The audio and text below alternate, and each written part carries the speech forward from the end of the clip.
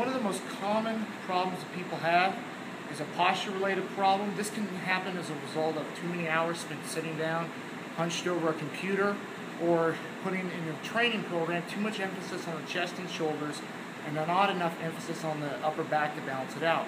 And that problem is rounded shoulders. You end up getting tight through your chest and shoulders, it pulls your shoulders forward, so you end up looking kind of like this. And this is a really exaggerated position, but this is what happens. There's two things you need to do to counterbalance that is stretch out the chest and shoulders, but really develop the strength in the upper back. I'm going to show you a perfect exercise to do that using nothing but your own body weight. And what we're going to do is a horizontal pull-up. When most people think of pull-ups, they think of hanging off a bar and pulling yourself up vertically off the ground. What we've done here is we've set the bar about waist height on a rack, and I've set 95 pounds on this. That's a little bit more than half my body weight. That's to keep this bar firmly in place on the safety rack here so that it doesn't start bouncing when doing the exercise. And then we've got a bench out here.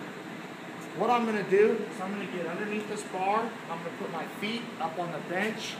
I'm going to hang with my hands off the bar here, and I'm going to do a horizontal pull-up, pulling my chest up to the bar.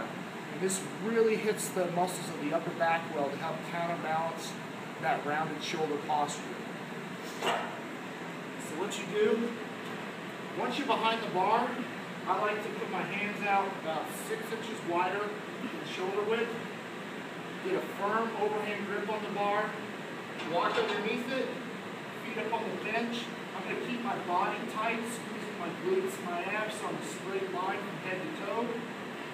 Pull the chest up to the bar and back down. That will develop some serious strength and muscle mass in your upper back.